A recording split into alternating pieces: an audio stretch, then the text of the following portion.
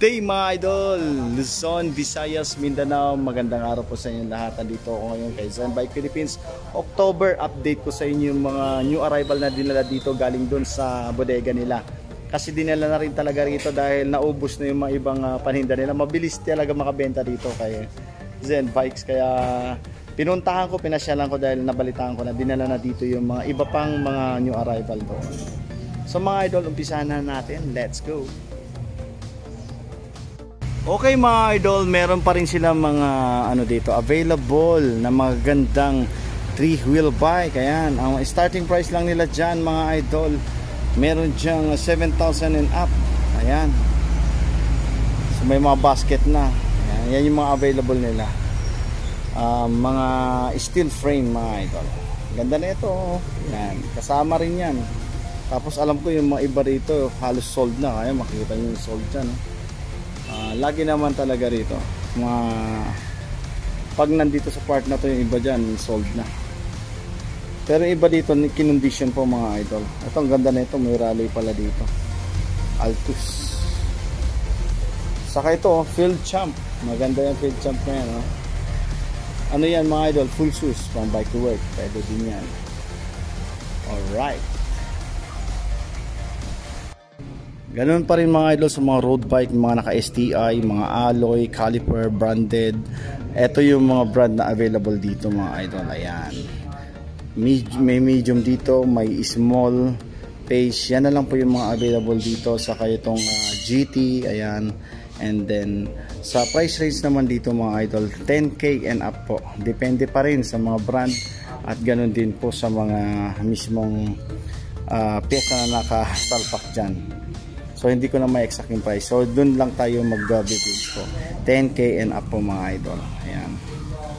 Tapos ito, nakita niyo Bridgestones Classic, andyan pa siya. Sa may Miata, ito nakita ko to nakaraan. Itong giant na to, lapitan natin. Size nito medium mga idol. STI siya naka-Claris. Ayan.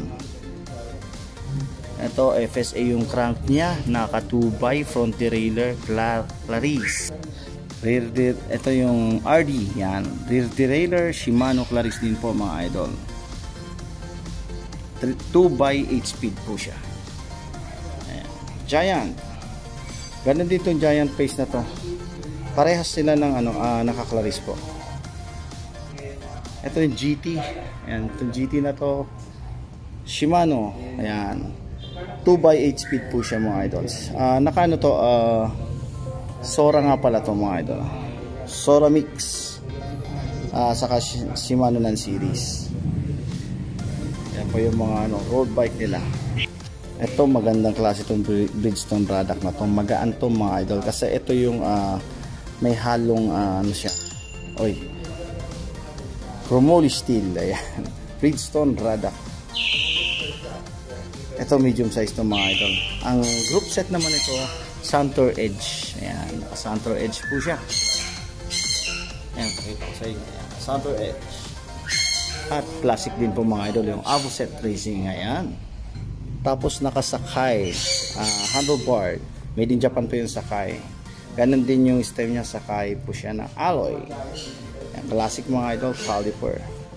Araya nga pala mga idol yung rim, rim nito. Ang ganda. Siyempre, Araya 700C. Wow, nandito na pala tong uh, Miata na to. Cantilever to mga idol na Miata. Ayan, mapapansin. Harap at likod, cantilever siya. So, I think yung tire, yan yung maximum niya. Uh, 28 mga idol. So, road bike, mga ang napansin ko dito, ang mga piyesa niya is Turney. Yan, Turney Shimano. Ayan. Andito na rin po mga idol yung 6 Kako Gunwell. Ayan. Sa Panasonic order. Ayan. Takako Tanabe. Ayan. Tanj po yan mga idol. So siya nga pala, yan, small to. Ito naman medium. Yung blue, medium to. Siya nga pala mga idol. Ayan. Ang price range nandito, 10k and up. 10 to 12. Tapos depende pa po dun sa uh, brand nung ano sa kayong mga pyesa na nakasalpak din sa mga road bike na yan. Ayan po yung mga available pa nila na mga road bike dito kay Zen Bike Philippines. Ngayon, ngayon mga idol, pahapyawan ko naman sa inyo itong mga folding bike na naggagandahan dito. Ang kikinis. Sasakyan nyo na lang yung mga yan at uh, wala na kayong dapat ayusin dyan. At kung gusto niyo mag business pwede kayo mag wholesale dito kay Zen Bike Philippines. Pumunta lang kayo dito at pag-usapan niyo yung mga presyo. Pero dito kasi ang presyohan naman nila sa mga folding bike na to kasama yung nandun sa dulo ng mga Japanese bike 3,500 to 4,500 po mga idol ayan eh, pahapyawan ko na lang to mga idol ang kikinis oh. alright ayan sa may likuran niya nakikita niyo naman po ang dami oh So halos lahat dyan mga idol, halo-halo yan. Mayroon alloy, meron ding mga bakal. Yan po yung mga folding bike nila na in good condition na po. At saka ang kagandahan po mga idol ni dito kay Zen Bike Philippines, lahat po mga idol ng mga ano nila dito, uh, bike kinondisyon na lahat yan. Yung iba dyan pinalitan pa ng mga bagong upuan, bagong gulong, bagong preno. At syempre, ang pinakamaraming nakita ko na size 16 at ito yung sinasabi ko na pwede sa mga anak natin, mga senior, ito yung pang exercise na size 16 folding bike po yan, andito napakarami dito. Mismo kay Zen, Philip, Zen Bike Philippines, kaparehas din lang ang presyo niyan dito sa mga uh, folding bike na size 20. Hindi naman nagkakalayo po yan mga idol. So yun po yung mga Japanese bike andyan sa harapan natin which is uh, 3,000 500 up to 4,500 ganun din dito sa mga size 60 nila. Ayan po yung mga brand mismo ng mga uh, folding bike nila. So lahat po yan branded mga idol. Yan, dito lang po yan kay Zen Bike Philippines gustong gusto ko pahapyawan kasi to para makapili kayo ng mga magagandang folding bike nila ayan at dito naman po mga idol, meron ding mga pambata na bisikleta. Ayan dyan. Pinakamura dyan, 1.5. 1.5 and up yan. Tapos meron din mga pambabae, yung may mga basket yan, mga candy bike. Kung meron naman gusto niyo mga junior mountain bike para sa mga anak natin na mga lalaki, meron din dyan. Ayan, starting price nila dyan is 2.5 pataas. Ayan, mga idol. Dami oh. Marami kang pagpipilian dito. One stop shop, isama mo buong pamilya mo lahat kayo makakapili dito ng tig isang bisikleta nyo ito naman pinapakita ko sa inyo ng mga budget bike ito nandito sa harapan natin starting price nyo dyan 4k and up ayan lahat yan 700c na gagamitin na lang eh. wala na kayong ano dyan dyan mga idol hindi exact na 4k kumbaga may 5,000 may 6,000 ganun po dyan sa mga part na yan. May alloy may ano din steel. Lalo na rito sa mga mountain bike na to mga full sus pang bike to work na mga nandito may 5,000 may 6,000 may 7,000 depende na po sa brand at saka yung mga pyesa na nakasalpak dyan. Ang daming bisikleta akong nakita ngayon dito kay Zen Bike Philippines kasi almost lahat dyan yung arrival galing sa bodega niya yung mga iba dyan Ganun pa rin mga idol, andito pa yung mga cruiser. Starting price dyan is 5, may 5,000, may 6,000 and up na po dyan. Depende pa sa brand. Ganun din dito sa likuran. Ay, sa katabi niya pala likuran. Siya nga pala mga idol, may mga fixed gear din pala sila. Yung mga nandito sa gilid na yan. Ang dami pa yung mapagpipili ang bisikleta rito. Price range lang sa mga fixed gear, 6K and up po. At kung gusto niyo mag-business ng mga ano uh, bike, ito yung bike for rent meron dito. 5,000 na lang bentahan nila diyan, ay alam ko. Yan, ang dami niya pare-pareho yan. Ano yan, uh, maganda yan kasi belt tapos uh, continuous rolling yan, pedal assist. Pero wala siyang makina. Kaya siya malambot pa dyan dahil sa ano niya, uh, brushless yung hubs niyan mga idol. Walang resistant kung ako sa inyo mga idol, ito yung mga gandang uh, kabitan ng mga ano uh, electric bike project. Lalo yung mga mid drive at saka yung uh, rear drive na mga uh, ano um, pang e-bike. E-bike kit tinatawag na electric bike kit. Ini-installan. Yan yung mga gandang installan. Kasi malaki space niya na pwede nyo lagyan ng battery. Napansin ko dito, sariwang-sariwa yung mga ano nila oh mga hybrid ngayon. Ito yung new arrival ha. Inuulit ko po kasi ito yung mga iba rito. Galing yan doon sa bodega nila. Uh, siya nga pala mga idol hindi nga pala nabubuksan pa dahil wala pa silang tao doon. So yung iba na talagang dinadala dito pag nabili na. Kasi ngayon dinala dito dahil yung iba na, na naubos ng iba. Kaya ito nadagdagan na naman ng mga panibagong uh, bike dito mismo. Ito naman yung mga mountain bike nila mga branded. Giant ang gaganda oh ayan so hindi ko na maisha rin po yan pero alam nyo naman pag mga ganyan mga giant Ang mga presyo lang nila starting dyan is 8,000 and up po mga idol. 8 to, may 8,000, may 10,000, may 12,000. Ganun po mga idol. Depende na rin sa ano sa mga brand at sa mga pyesa na nakasalpak.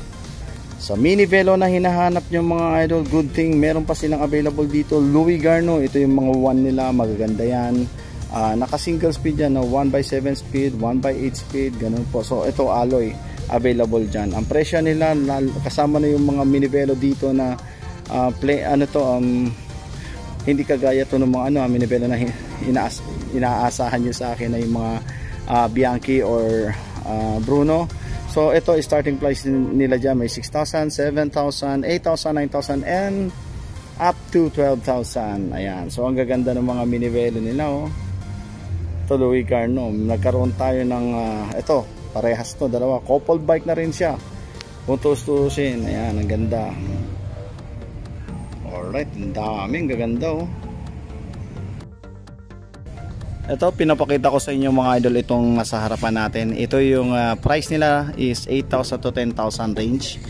Lahat po yan 700C. Ang mga nakikita ko rito, mga halos V-brake, harap at likuran. Then all Shimano parts nga pala yan.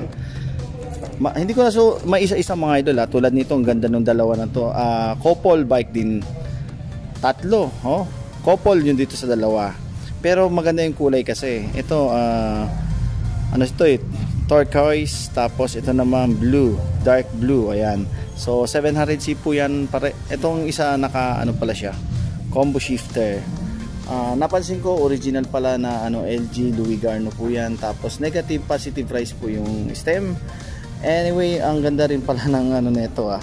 Teka. Tatlo siya eh. May pinagkaibahan po dun sa dalawa na yan. Kasi itong dalawa na to ang mapapansin nyo dito sa ano na to hybrid. Ayan makita nyo. Andito yung top tube nya ito yung seat stay. Ito naman nandito halos pumantay yung uh, top tube nya sa seat stay anyway uh, pag magalit ganyan design po hybrid po ito. And then yung isa na ito yan nakita ko na yan, yan pwede nyo palakihan pa yung gulong nyan hanggang uh, 700 by 40C 38C pwede. Ayan. Pero V-brake lang siya talaga. And then yung mga iba pala dito na napansin ko ayan mga momentum weekend bikes at saka mga return. Ayan. May right way pala dito yan. Ang right way mga idol nga pala ayan na, napapansin nyo ayan. Lapit ko ng konti kasi nagaganda ako sa mga right way ngayon eh. Yan mga right way mga idol made in Japan po siya. Magagandang klaseng bike yan sa Japan. At uh, me, uh, ang price yan medyo may presyo talaga. May kamahalan yan sa Japan.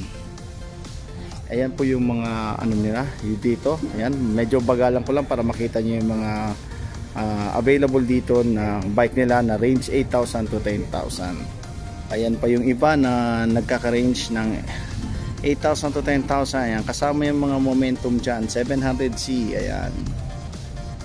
Ang dami dyan oh.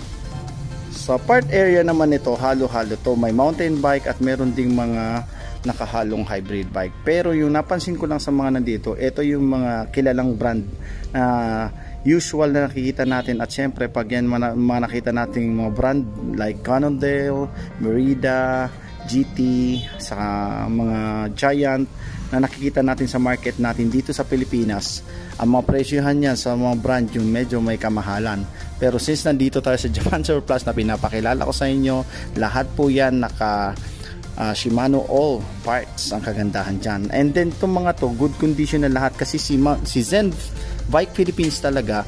Uh, kung sa mga hindi pa nakakaalam ito yung isa sa pinakamagandang uh, bilihan ng mga bisikleta. Kasi maayos po lahat ng mga bisikleta nila. At uh, in good condition na So range price nga pala dito sa harapan natin mismo itong pinapakita ko sa inyo. Hindi ko na sila maisa-isa sa sobrang dami nito.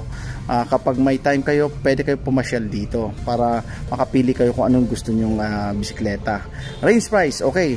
10,000 to 12,000. Depende pa po dun sa mga uh, brand na mga nandito at saka yung sa pyesa kasi siya nga pala mga idol ang pinagkaibahan nga pala sa mga pyesa pag ito yung mga nakikita nyo syempre meron dyan yung mga top of the line na mga pyesa nag, nag-iiba po yan sa mga presyo.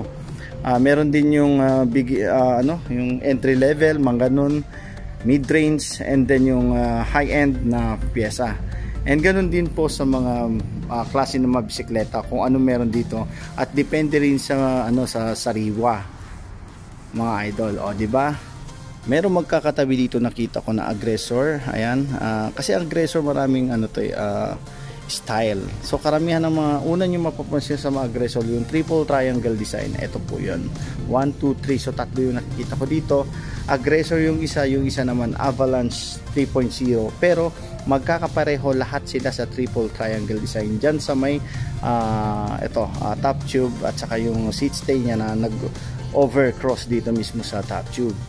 So hindi ko na maano yung mga size nito ha sa, sa dami nito mga idol so I think um, ang napansin ko lang dito is almost uh, small to medium yung mga prices na marami uh, sizes ang mga meron dito. Ito naman mga idol nakita ko dalawang hive. Ito mga nandito sa harapan ko may tatlong magkasunod-sunod dito na naka disc brake na talaga. Ito mga saka, saka naka internal cabling na rin available pa rin until now dito mga ATX na to. Tatlong ATX model na Giant po yan mga idol. So 27.5 po siya may available dito. Uh, price range lang po siya mga idol dito ha sa mga ganito. Alam ko uh, ah, 10,000 and up po mga idol. Yan ito available pa yung rally dyan. Napakaganda ng rally na yan. At saka yung Wahoo. Ayan yung Wahoo Gary Fisher. Nagkaroon na po ako ng ganyang klaseng uh, mountain bike.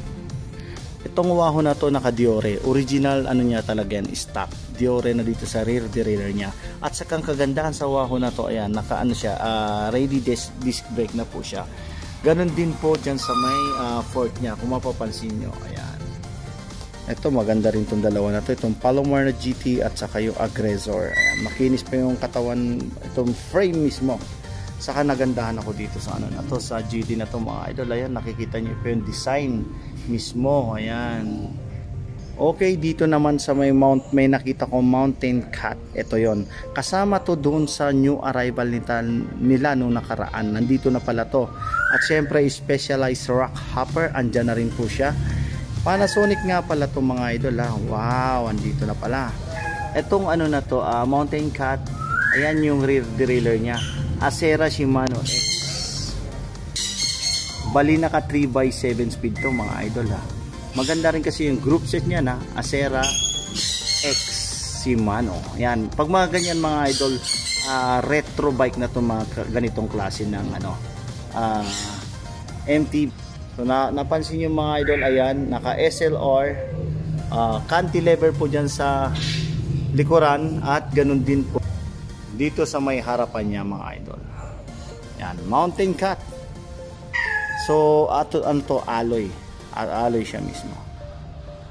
May napansin ako sa fork nito ayan uh, Tange o made by Tange po yung fork niya.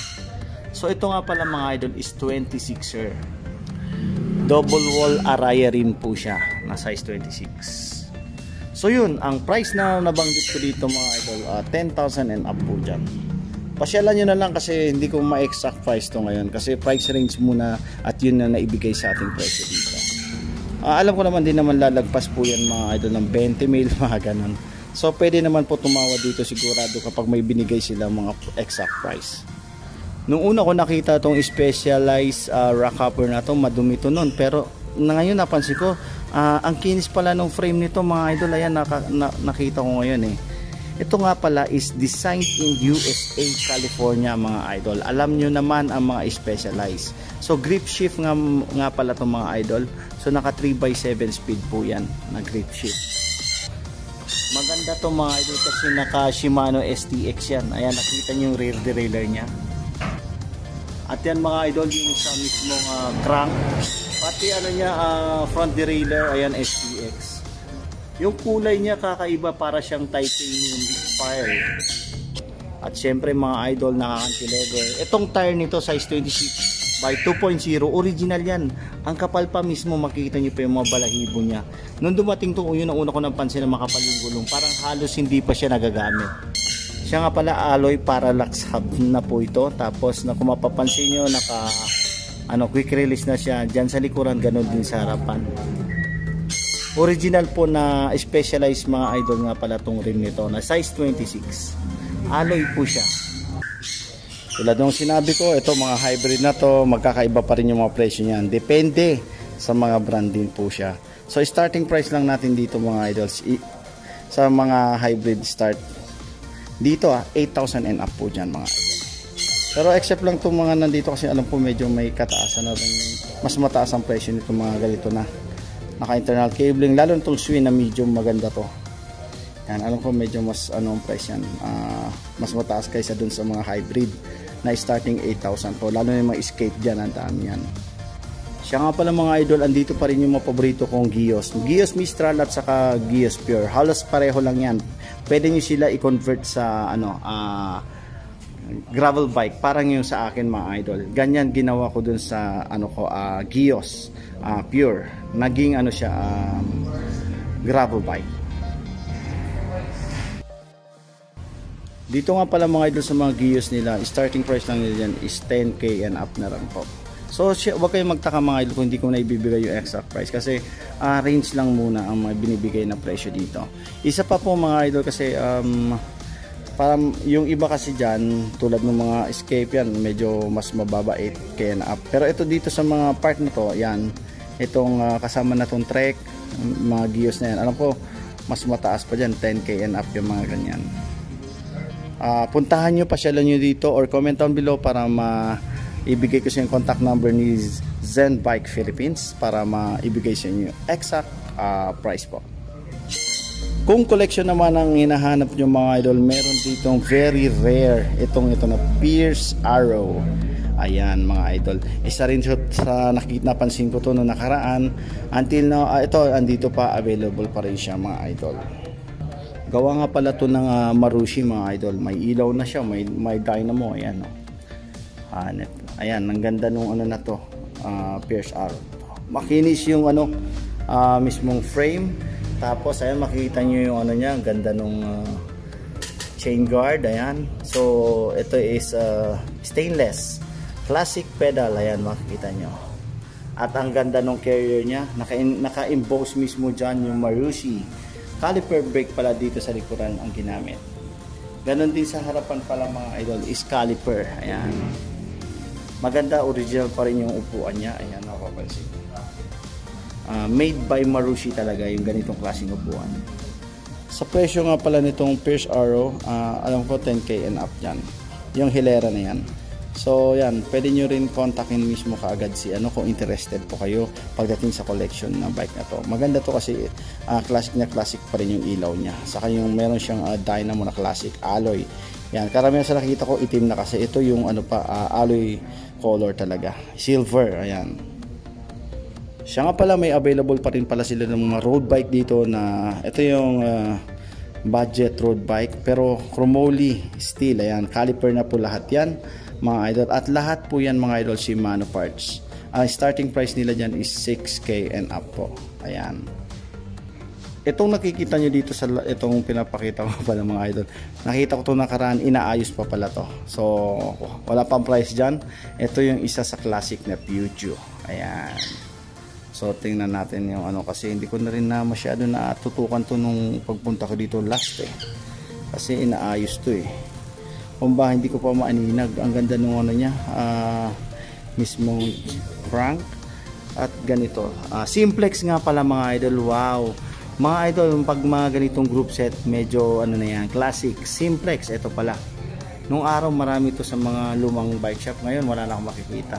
Collectible na nga pala yan mga idol mga simplex group set pala to o si Pujo nga pala ayan nakilala yan sa mga ganyan lalo yung mga classic nila halos ang napansin ko lang simplex kung mapapansin nyo may kahalintulad mga idol ito itong ano niya uh, mismong stem doon sa rally ko ganyan ang ano itsura wow dia compe yung ano niya mismo uh, brake lever so naka mafak razor yan So handmade po siya mga ito. Ang ganda ng itsura niya no.